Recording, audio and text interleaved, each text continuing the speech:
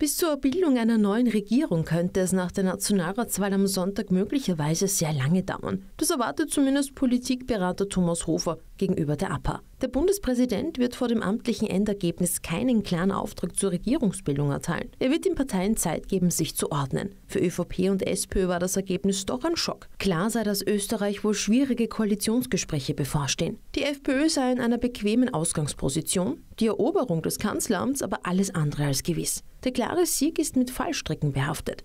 Es ist möglich, dass sich niemand findet, der die Freiheitlichen ins Kanzleramt hieft. Doch selbst wenn man die FPÖ außen vor lasse, für die Zukunft der Freiheitlichen würde das wie ein Turbo sein. Sollte es eine Koalition um die FPÖ herum geben, wäre das eine Auflage für Herbert Kickl bei den kommenden Landtagswahlen, so Hofer. Bei der ÖVP sind Stimmen aus den Ländern oder von dem einen oder anderen Bund zu erwarten, dass man der FPÖ inhaltlich am nächsten stehe. Die Volkspartei müsse aber wissen, dass sie in einer Situation sei, wo sie den Kanzler nicht retten könne, wenn sie den Juniorpartner gibt.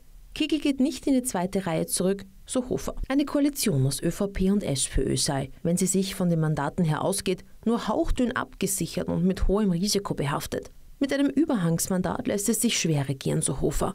Schwer vorstellbar sei auch, dass Nehammer und Babler miteinander können. Da muss wer federn lassen, so der Experte. Hofer kann sich gut vorstellen, dass der Wirtschaftsflügel darauf drängt, nicht mit Babler zu koalieren, zumindest als Person. Mit den Neos als möglicher dritter Partner würde die Situation inhaltlich nicht einfacher werden. Zudem werde in der SPÖ diskutiert werden, wie es mit Parteichef Andreas Babler weitergeht. Mangelnde Geschlossenheit und Streit nach außen waren schon im Wahlkampf ein Problem für die SPÖ. Karl Nehammer habe hingegen Chancen, sich als Parteichef zu halten. Er wird versuchen, das Ergebnis umzudeuten.